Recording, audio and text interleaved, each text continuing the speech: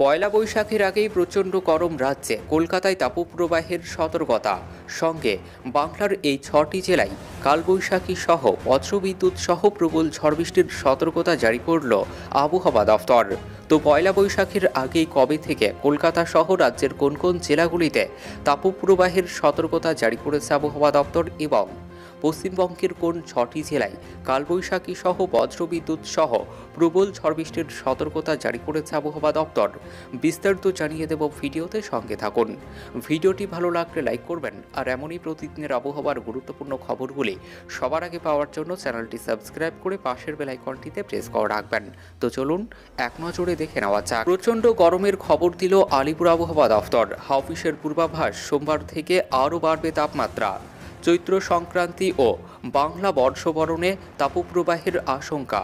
আগামী বুধবার থেকে শনিবার কলকাতাতেও তাপপ্রবাহের পরিস্থিতি। চল্লিশ ডিগ্রির ঘরে কলকাতার তাপমাত্রা, আশঙ্কা আবহাওয়া দফতরের। দশ থেকে পনেরোই এপ্রিল পর্যন্ত দক্ষিণবঙ্গের পশ্চিমের জেলাসহ উপকূল সংলগ্ন গাঙ্গীয় পশ্চিমবঙ্গে এবং উত্তরবঙ্গের মালদহ ও দুই দিনাজপুরে তাপমাত্রা বাড়বে।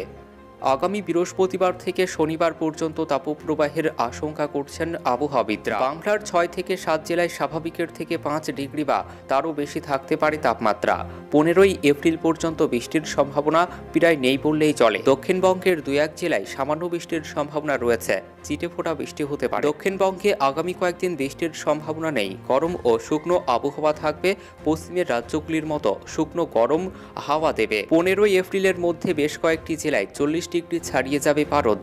উত্তরবঙ্গেও বৃষ্টির সম্ভাবনা কম, ক্রমশ বাড়বে তাপমাত্রা। উত্তরবঙ্গের মালদহ ও দুই দিনাজপুরে তাপপ্রবাহের আশঙ্কা করেছেন আবহাওয়াবিদরা। কলকাতায় আংশিক মেঘলা আকাশ আজ রবিবার। বৃষ্টির সম্ভাবনা নেই, তাপমাত্রা ক্রমশ বাড়বে।